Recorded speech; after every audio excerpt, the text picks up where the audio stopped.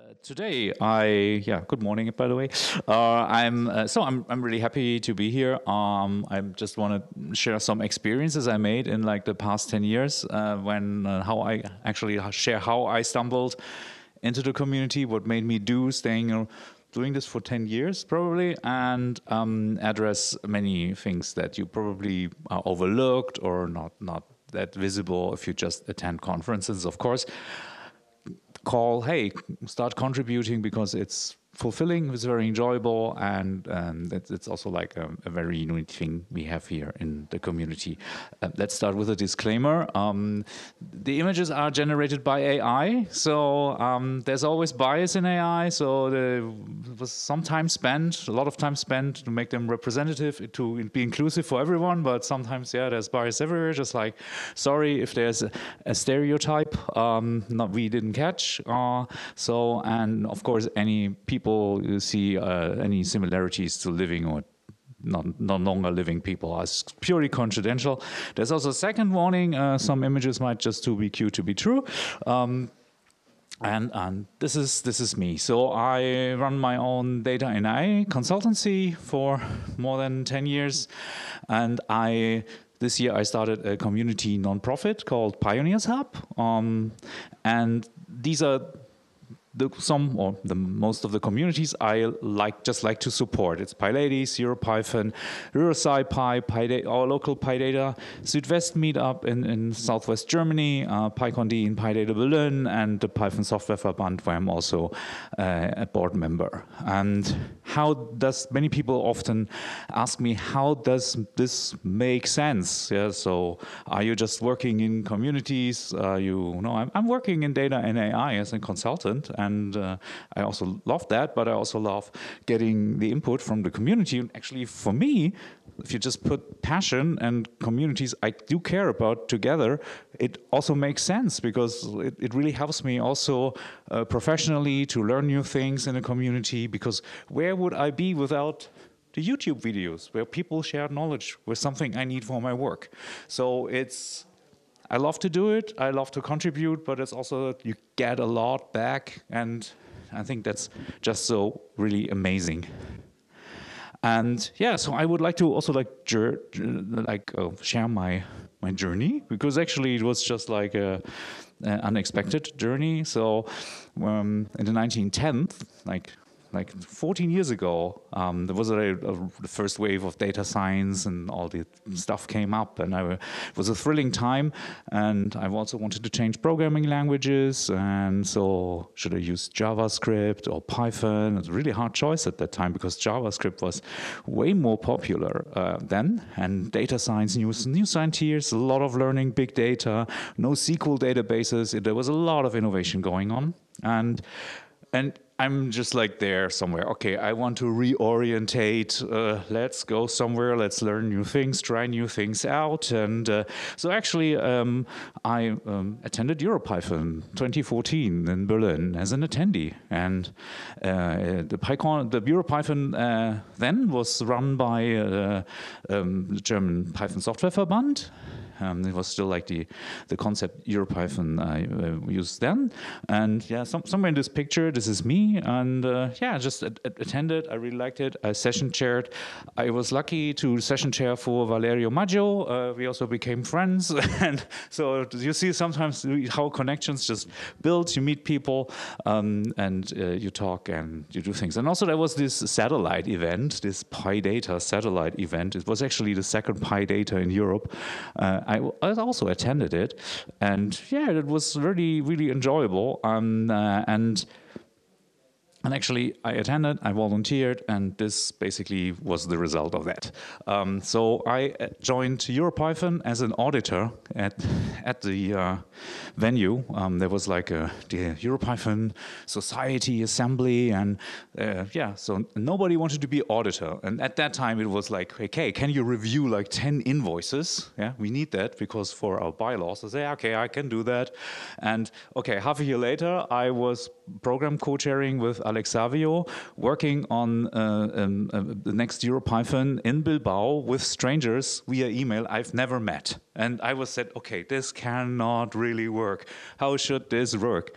And actually, the magic is it really worked. We had like 1,200 people more in a beautiful venue in Bilbao. I met all the people I was working there for a month, um, for, uh, yeah, in person there at the time. Um, like uh, uh, having video calls wasn't a thing back then really. Everything was email and email threats there was no slack. Slack wasn't even around yet.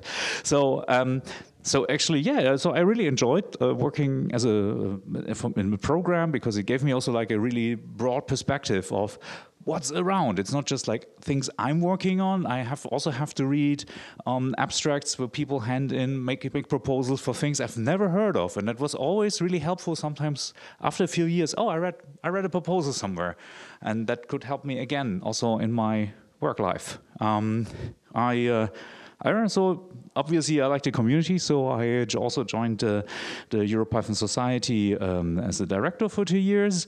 And then on at EuroPython, uh, people from my area who also like I knew from EuroPython, Sebastian and Peter came by and said, hey, what about doing PyCon in Karlsruhe?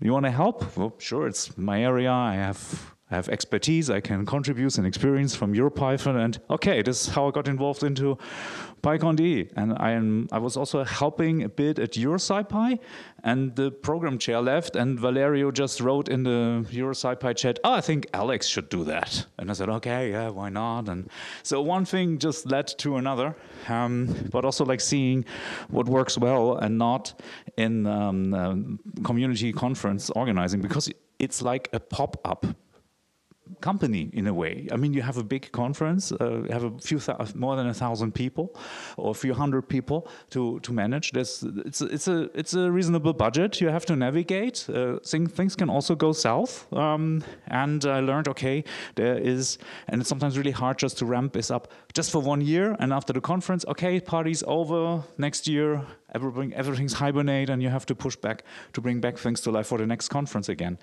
And um, I saw like uh, this this was one of the reasons I joined also the board uh, of the Python Software Verband because I really felt the need we need to improve processes, things, the back office, and it also lead me led me even further, um, founding uh, Pioneers Hub, um, a non-profit for the beginning of the year um, to support building tech communities and helping tech communities with mentoring, processes, administration, all the, all the boring stuff yeah, um, uh, because I, I really think they can foster and I think they bring so much value for everyone.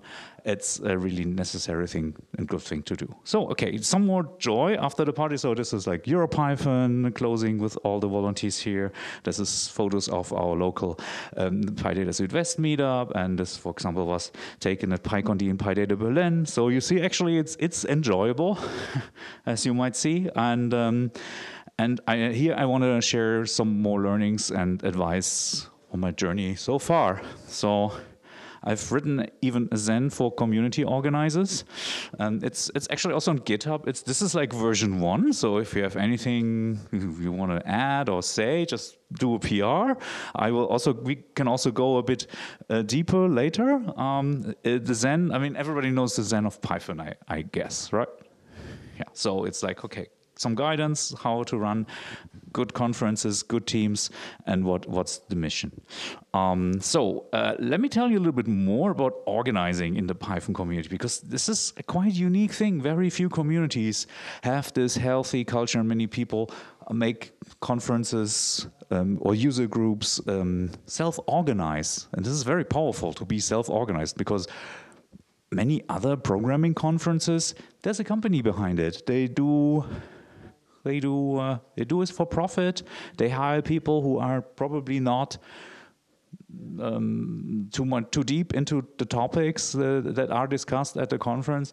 And yeah, there's totally different incentives than basically doing a conference for your peers and um, other people around you. And um, so I think this is this is really great and unique, and uh, this is some something we should really value and treasure in, in the community. Um, uh, very often, the local or national multi, uh, especially large events, are backed up by um, an organization, um, and I think one of the really great things is the major decisions are made by the volunteer organizers. So there's nobody, no business person say, okay, this is we have to do this because we can say, okay, it's all the call of the organizers. There's even public votings for um, for the program, for example. So it's very, it's really including everyone who's also attending. And I think this is also a great way to listen to multiple aspects of people who want to attend a, a conference. Um, yeah, and some examples. So there's just some local folks running a local meetup. Usually there's uh, one or two people driving, many other people helping. This is like a, a very common pattern um, that uh, there's not uh, there's not too many people to step up. Say I'm, I'm going to take the lead. Um, there's many people who want to help, but the leading part is sometimes a bit harder to find. And national associations like PyCon Italia for this conference, uh, the Python Software Verband for In Germany or EuroPython Society for the EuroPython conference. Um, one example for um, what's uh, done by volunteers is the program selection is done by volunteers who work on a program committee then executives, also the executives, because this sounds like business, right, a bit businessy, probably. But let me um, say, um, like the executives I'm referring to are actually the elected board members, for example, from EuroPython Society, which are also elected by the community and come from the community. So there's not, uh, yeah, this is, I think, very good to have um, organizations also run by community members.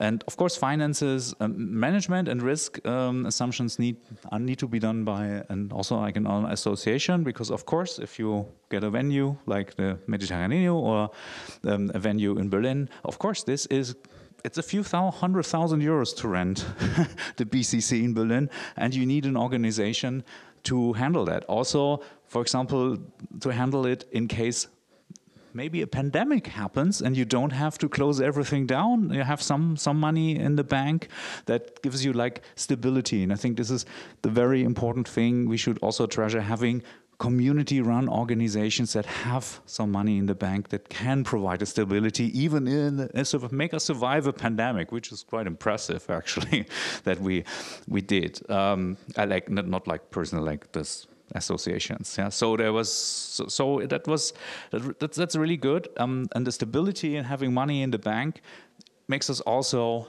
really resistant to sell out being like sponsors. We can treat sponsors as partners not as oh yeah we may need to make the sale. We need we need the money. Otherwise we cannot pay the other bill. So i think this is this is very very very important that we can always act on a high ground and say okay if it doesn't work we maybe have to cut the budget. Maybe we have to do some things. Because we cannot afford usually that doesn't that doesn't happen or sometimes happens. We cannot say okay this is too expensive. Um, but uh, we we never depend on making that sale. And because i think that's always like a, um, a, bad not not not a healthy thing if you think about quality of contents authenticity authenticity and many other things. Um, yeah and community organizing is actually is, i would argue it's an success um, we have a very welcoming community culture established. Um, the content we do is authentic. It's not sold to anyone. Um, people from the community share their experiences, what they just learned or what they are working on, um, and it's uh, it's not it's not product pitches. Um, the community selects what it wants to see. Um, also, like the committees are diverse, and um, there's also like room not only for popular topics. Uh, the committees also look into okay, this is a niche topic, or this is something new which is relevant for maybe fewer people as well. So let's to include that in the program as well. Um, we are very very beginner friendly. There's beginners day like here, uh, which I think is great. Um, we really really try to tear all down all the walls. Hey, just come by, join us. Don't be afraid. We don't bite. um, so I think this is really awesome. Also like to to get to yeah to tear down walls because many there's many walls in people's heads like oh I cannot do that and I think we're doing really good on hey just come by it's not that not that bad or part to start, start programming or contributing. Um, we have a strong focus on the whole attendee experience and focus also a lot on diversity and inclusion.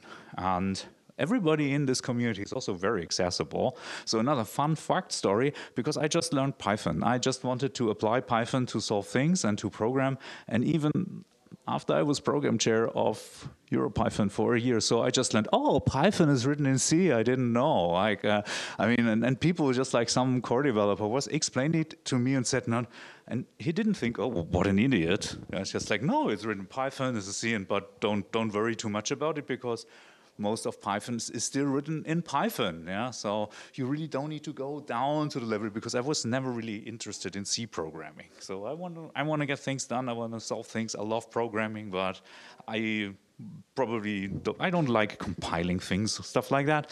So I don't. I'm not interested. And one more thing, like we, we, we, create content and insights and share knowledge at the conferences, not only with the audiences in the room or people watching the stream, we record the videos and they are released on YouTube for free.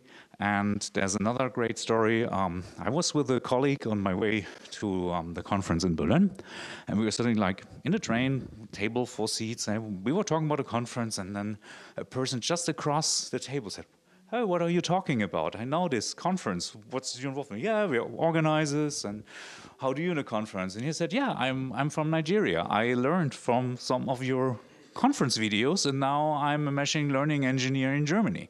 So, and he said, okay, oh, there's proof. It's not only theory. There's real, a real person sitting here, and this makes really sense.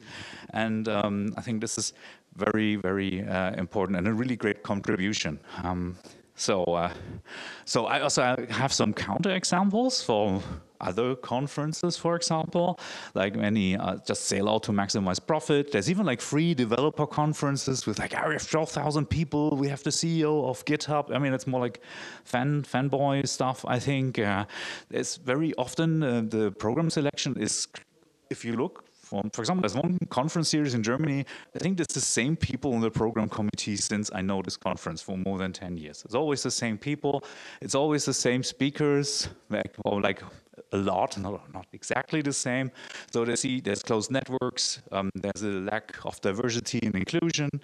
Um, there's very often the content is just shallow. Why? Because if there's no competition about, hey, who gives the best talk, who makes a great proposal, I mean, if it's just like, okay, I have to talk at this conference again, uh, the, the motivation is a bit different. Also, there's like VIP barriers. Of course, people sometimes like to, oh, I'm more important as a speaker. And I think, course, people, like, for example, we give free speaker tickets, but we also point out this is a thank you for your contribution. This is not a privilege. Yeah, so it's just like, hey, this is a thank you because we know a talk you can spend like multiple days doing a great talk or weeks even, um, and uh, yeah, and, and, very often also the content is gated and never released to the broader public. Um, and the fun thing is because I don't know really why the I mean, there's many theories about the, or theories about why is the Python culture like as it is. The I think the, the one the, the, the, the leading theory is, oh, the people who did Python and were early in the community were just like this, and this basically educated everybody else who joined. Um, also, the community organizing is built in and access for more than two decades. So this is not a new thing. We have these conferences for a few years. Actually, it started in 2002, and actually EuroPython, not the Python, not the PyCon US, was the first big conference by, oh, big, it was 200 people, but PyCon US also had only 200 people in it two years. It's, it started in 2002. Um, and, uh, and yeah, I mean, EuroPython is going on for like 22 years, like, uh, which is like crazy uh, um, if you think about it. Uh, and it's always volunteer run and, uh, and, and, and uh, yeah, carried, carried out by the community. Um, and you see, but also like here, the conferences grew and it's really hard to say uh, because, for example, EuroPython. EuroPython was here at PyCon. There was no PyCon Italia. There was three years EuroPython. It was only planned for two years, but then nobody wanted to do the EuroPython, so PyCon Italia said, "Okay, we do another year." It was exactly in the same hotel here, and it was like a very yeah, it was like very um, um, um, popular conference, and you said like, okay, this is too much to have to handle for the for local communities. Uh, we have too few organizers, and you see this somewhere here. I would say running something with a smaller group until like three, 500 people is handleable. But it actually, once you meet, have like a certain amount of attendees, it gets way harder to to navigate. And um, so, um, so I think uh, there was also like, uh, yeah, this is this is like a break where no local community can handle also like the financial risk and organizational risk because people do have do they study they have a day job and this contribution is weekends nights sometimes nowadays in open source uh, also some nice employers um, give people free time to contribute to open source and conferences but uh, yeah. So yeah so and nowadays for example in berlin we had 1500 people on site um, this is a this is like a it's a major event. It needs has different needs to to navigate. Um, so I'd say community organizers also need a stronghold. Um, what's a stronghold? Stronghold is some examples of the of, of uh, community organizations I mentioned before, like the PSF, the EPS, the Python Software Verband, PyCon Italia, um, because I think it's very important to one to have like that can bear financial risk, navigate the budget, um, also think about mid and long term strategy. Where should the next conference be, for example, and all this. Um, we're quite happy to have these organizations, but they also volunteer run, and also the boards are volunteer elected. Um, so still um, it's also like sometimes people fade out or say I don't have so much time. Um, so and so what do these organizations uh, or other organizations like Pioneers Hub now also takes care of is having all the boring stuff like legal requirements, bookkeeping, filing taxes timely, uh, negotiate agreements with uh, venues, uh, um, sponsors, infrastructure, like have accounts for um, organizing the work, um, uh, tools, um, payouts for grant programs, and having the receipts in according to local tax um, uh, requirements, reimburse expenses, regu meet regulatory requirements, for example, also data protection. I think we can really do better there. We're not working on uh, private Gmail accounts most of the time. So um, there's a lot in the back office. This is probably not visible if you're in uh, um, uh, if you're just attending or con contributing in a committee. Um, and so, and so that brings me to the next second part. So, organizing. What are opportunities and challenges? So, and uh, so let me first define organizers and volunteers. So, what's what's the difference? Is there a difference? Uh, actually, there, there is no official definition somewhere. So, I would uh, basically define it like this: organizers take responsibility for a certain part they are chair of a committee.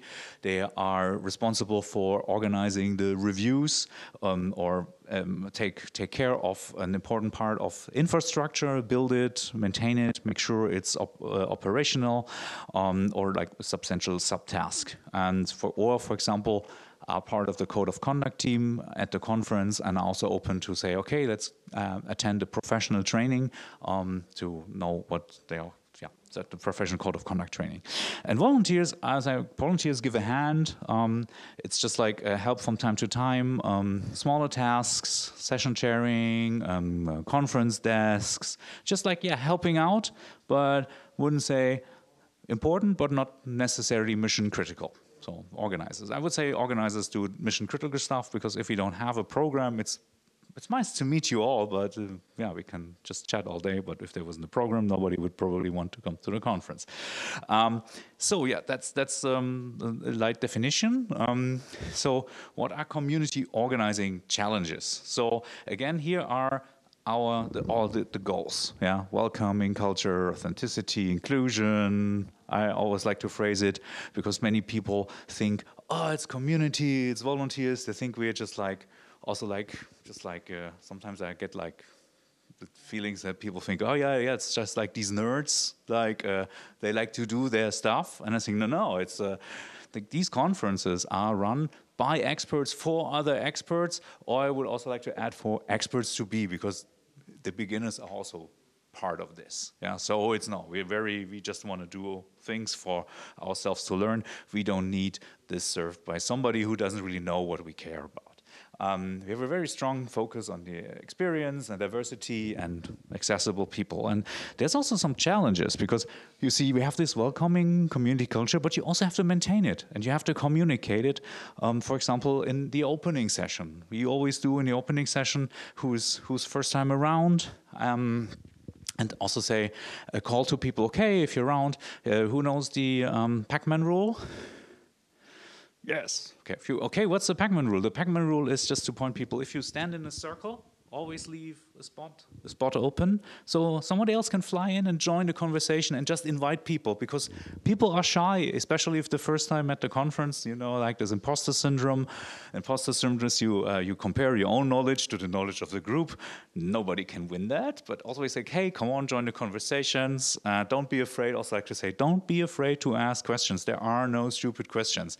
I just revealed something very personal, not knowing Python is written in C after being program chair. So um, yes, so but it's important to to also like to do that because nobody knows everything, and and it's it's really great what you can learn from people if you just ask the question and say, okay, I have this problem or I'm struggling with this. So my another strategy I like is going to meetups and complain in the pizza breaks. Um, and and yeah, and there's always a person. Oh, have you heard this? This is the solution. Yeah, it's uh, it's it's really cool. Um, so, uh, but you also have to make sure, uh, like making everything diverse. It's also like work. You need to to check, to look into. Okay, how's the program team? Do we have, for example, uh, beginners in the program team?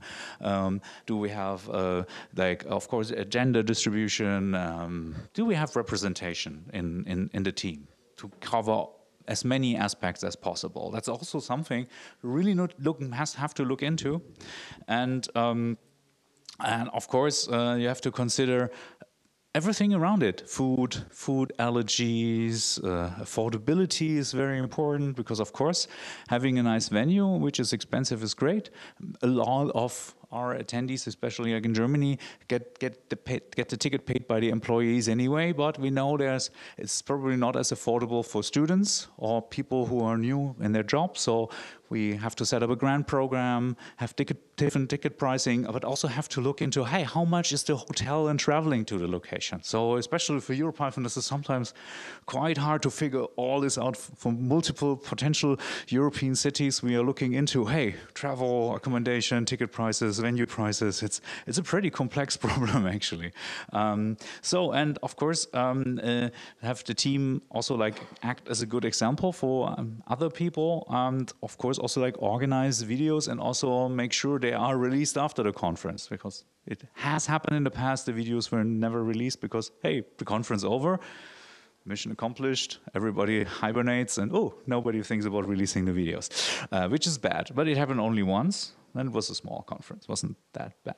So, so the challenge here actually, we have high standards, and I think it's very good to have these high standards, like um, to make it accessible, enjoyable for, for for everyone. But of course, this brings also like complexity and workload um, you need to handle, or we need to handle. Um, so, and who's who's handling, who's looking into this? This is like a prototypical um, organization committees list. So you have code of conduct, communications, making announcements promotion, uh, like like letting people know there's a conference, the keynote speakers, about well, informing uh, attendees. Um, there's design swag stuff. Um, of, there's a diversity. I think this is a very important um, committee, like to have a diversity uh, committee, a grants program. Diversity has like hands out like financial aid, has a financial aid program where people can apply, but also reaches out to other underrepresented groups to say, hey, you want to join the conference, you want to give a lightning talk about your community or group, and make them also help them to become more visible. Um, they have, of course, finance, tax, legal stuff um, on site, uh, organizing session chairs, uh, the conference decks, handing out T-shirts, uh, um, make the program. Program is like selecting the talks, uh, the tutorials, organizing beginner day. Of course, sponsoring. Sponsoring is, is, an important income source to help us to make ticket prices more affordable. Um, and yeah, of course, this is a business thing. And uh, yeah, there's video recordings, websites. So I say, okay, it's a lot of stuff. So let me don't let me scare you away with all this stuff that needs to be done because you only need to, or if you join one committee, the tasks are smaller. But I think it's always like a great opportunity to work to work in diverse committees, um, big enough to handle the workload um, and to to learn from each other because the communities are also like they are a safe safe space. Yeah, so they, we always try to have experienced and or trained members in the committee. So don't the committee doesn't really start from scratch. It was pretty hard after Corona because in, in the pandemic, teams shrunk, disappeared. To rebuild this after um, uh, after the pandemic again was pretty pretty. It was a lot of work. Um, you need to have to deal with many platforms to communicate and work together. Um, we have to, of course, navigate milestones and risk and solving, yeah, or solve hurdles to participate. For example, in the uh, diversity uh, committee, and so on and so on. There's there's there's a lot of things uh, to do. Um, and, and, I think the biggest challenge is, yeah, what's the bad thing? What's the big difference between uh, uh, running an event and a software release? The event is really hard to postpone. So the, the the challenge is that ready or not, the door will open. The people will there. They want to go to the conference, and if you have to solve many things before the conference on short notice, that's that's really bad, and that's really wearing teams out. So I think it's very important to prepare well and quiet. Yeah, I really hate the days before the conference because you know there's this day it's going to open no matter what happens, and um, yeah, and, also that's uh, important because committees depend on each other. So. Um, uh, if one committee has a delay, it might delay the work of another committee. And of course, it's volunteer work. Sometimes people, oh, sorry, some came, came in the way. Oh, sorry, I was sick. And of course, it's volunteer. You cannot really say, okay, you're if you don't do this, well, you're going to be get fired. This is not happening. So of course, everybody needs to be to, to dedicate to the cause. And I think sometimes sometimes a bit depressing for me because I sometimes sometimes people just ghost, and it would be totally fine. Yeah, say, hey, sorry, something came in the way I just have to leave this committee. It's no hard feelings, it's voluntary contribution. But not knowing and waiting for decisions of a member you want to include can also cause delay. So it's it's it's it's really fine also to say, okay, something came in the way, or I lost interest, whatever, or no reason at all. Um, yeah, but it, it it doesn't happen that that often anymore, uh, uh, which is really nice. Um, uh, I think a very the, the, the, very important part is not to miss milestones, to really stay on track because milestones missed just will keep like increase the whole pressure and uh, on the on committees and the work. And the, the bad thing milestones missed the, the, task will catch up to you anyway. So and um, so i think authority yeah i didn't find a better word of the authority um, that ensures that everything is on track and on time helps a lot. I think it's a really good practice to have somebody who's not within the team or like one of the volunteers or not the program chair. It's sometimes just like somebody from outside. It can be a mentor. Say, hey, how's the milestones going? How's this? Just like to push the team. Oh yes, sometimes because people just sometimes forget or say or are not uh, aware it's it's getting a, a pressing matter now. Um, the, the, right, the great thing is like organizing and helping in these many many fields you can contribute. Um, uh, you can learn and grow a lot. You can try out new things. Uh, you can you can uh, uh, it's uh, it's you can try things. You can work with like-minded people in a, in a safe space. So if you don't know something, it's totally fine. There's a very low barrier to ask, hey, what's the experience? What should we do? Sometimes there's also like new new challenges which we don't have a solution yet. Hey, develop a solution for for that. Um, I think it's very enjoyable, especially everybody's really friendly and helpful, um, and uh, yeah, and you can improve your skills in a friendly, safe space. And after, like, let me show you just like a picture. After one day of ramping up the conference, running three days of the conference, the PyCon and PyData this year's teams, they, they, we still look happy, right, in the closing session. yes. So, and this is like this was the team of organizers and volunteers. Not everyone. Some people had to leave earlier, but, uh, you see, like, it's a huge team. We could carry the whole conference on many shoulders, which made it um, really. Uh, yeah, really great experience for everyone and deliver a great conference because 1,500 people. I was a bit afraid, eh, to be honest. so some skills and best practicing for organizing. I think it's very how to build um, how to build a team of organizers. Um, The teams usually work on a yearly event. Um, there's a, we, we, do a public open call now, um, uh, but it's important to have concise documentation and expectation management. What are you actually signing up for? This is when we do most of the work. This is the expected time you to contribute because people don't like to sign free checks for doing everything. They rather say, um, don't do anything if you don't define it well. Um, and also, uh, I think it's very important to select people more by motivation than expertise, yeah, because uh, um, there's many non-technical skills, uh, like also like non-technical non-technical tasks needed.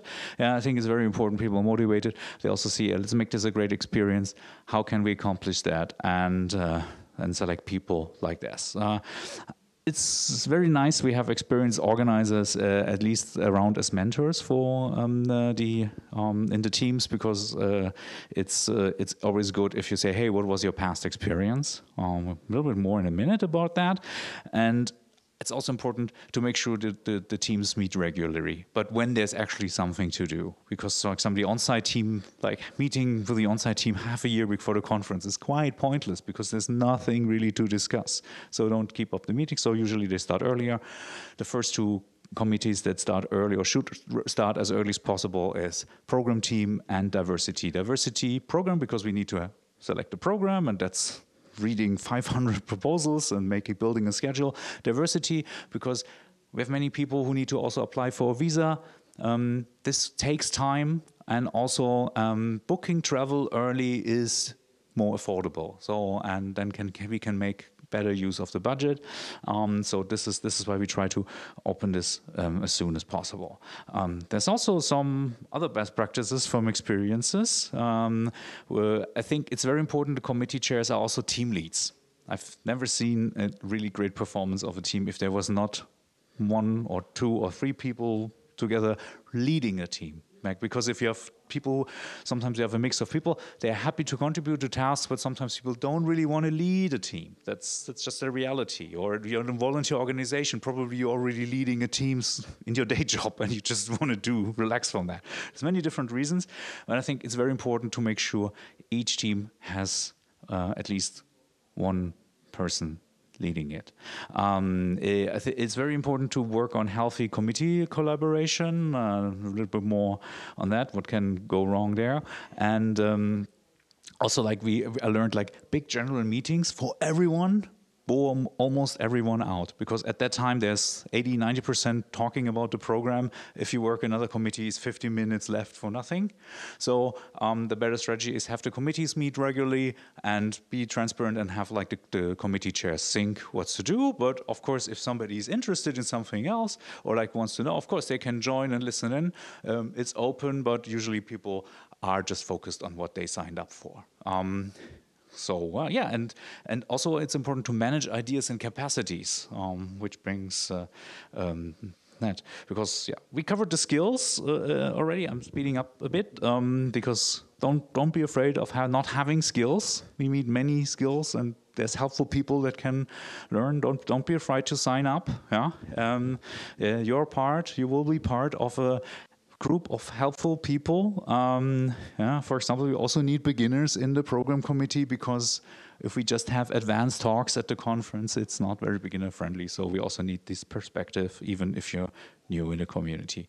Um, some other experience from the past. For example, this is very typical. I've also, uh, who has worked in other associations, like a sports association or a board, something different context? No, no one? Oh, well, maybe Rodrigo, maybe a bit, uh, Artyom, okay. But you know, many people like to join boards um, or uh, a committee and they say, oh, I have this great idea, I have this great idea, is this great idea. And, and I think it's very important to have a healthy culture and to really say, hey, ideas are very welcome, but execution plans are even more welcome because we don't never never lack ideas. We lack execution. Yeah and it's uh, sometimes really hard because some people think their ideas are so great and such a great contribution. Yeah um, so i don't want to talk bad about having these ideas but you say oh yeah just giving the ideas and waiting for others to execute it this is not this is not really good. Uh, so um, also like mentoring is not like secretly sharing. So i, I learned it's very important to say uh, um, okay this is the experience we had in the past. This is what we tried. These were learnings. But always like to conclude with it's my two cents. It's your call to make. Because sometimes you even have like experienced team leads like looking at you waiting for a decision because yeah, if somebody take, makes a decision people just like that from time to time. And i said no it's your it's your call. I'm just sharing experience. I think that's very important. Very unpleasant thing is team hygiene. So if people will sign up for a committee and not contributing and i think since most like almost everyone I know in the community or everyone in the community here is, is very helpful, um, trusting people, but we also have to face reality. Sometimes people just sign up, especially in the program committee, because it's nice on a CV. They are not really looking for contribute. Um, so that happens, unfortunately, and um, the wrong. I think it's it's it's it's a bad decision not to address this. So I think it's very important to ask, hey, what is, some something keeping you from contributing? Yeah, not like yeah. And but if there's no answer, like we had one person actually once in the program team of Europe. I said, no, I just wanted my name have my name here, which was very rude, actually, a response, but at least honest.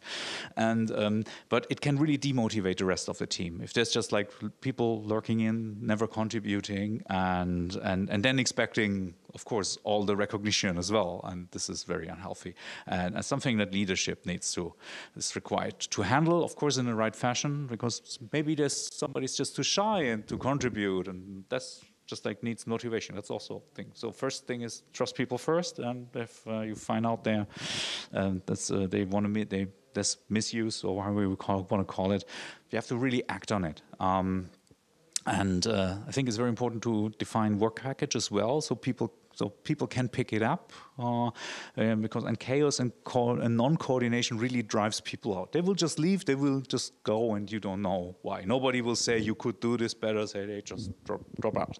This is like so. Again, I don't want to scare you away. This is just something to help you to improve or have an eye on. Yeah, so it's um, yeah because uh, if you look at all the great accomplishments you can make, um, is uh, yeah you have regular conferences, local user groups, meetups to learn, uh, uh workshops for for beginners and underrepresented groups.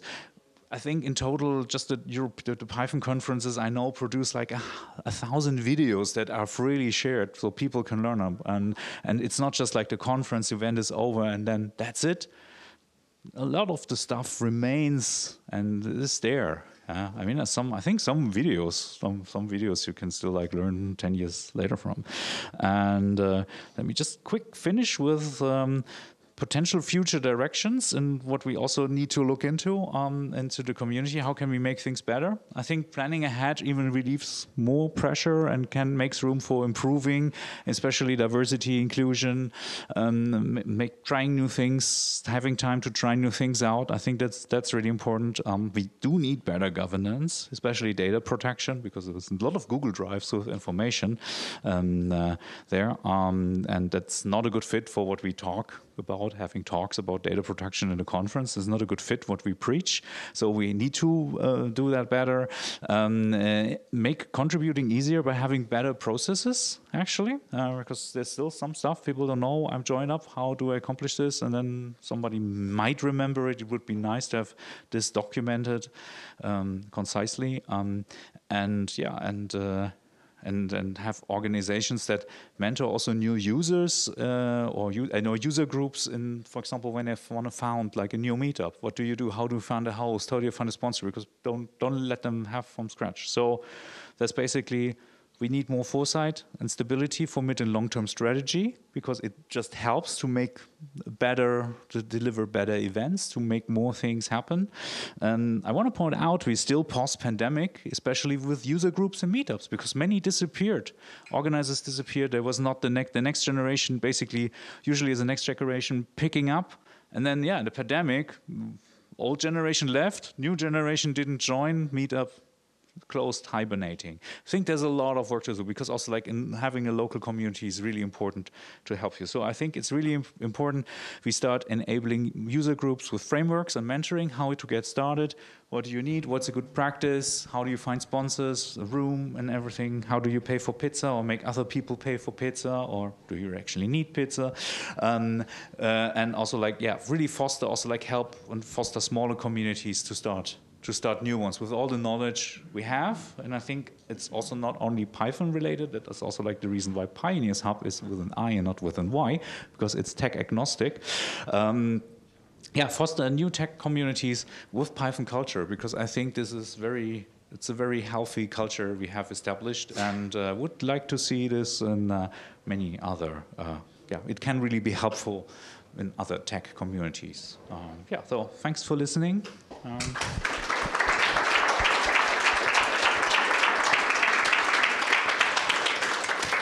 Thank you very much, Alexander. We have a question, but we have finished the time. I think you have already answered the question. The question was, with the help of other people, I'm starting a local PyData in my city. What are the most important things that we should know and what we should prioritize? You can answer like in one minute. One minute. I think, yeah, feel free to ping me um, or like whoever asks a question, you can find me on LinkedIn. Free frame ping me. Um, uh, I think it's really important to to uh, have a good communication to especially sponsors because if we if you don't have people who already know what a meetup is about a few slides can be helpful. I mean, I, I, I, don't really like to say this because I didn't sign up programming to do PowerPoints in, in now for, for community work, but it's really helpful.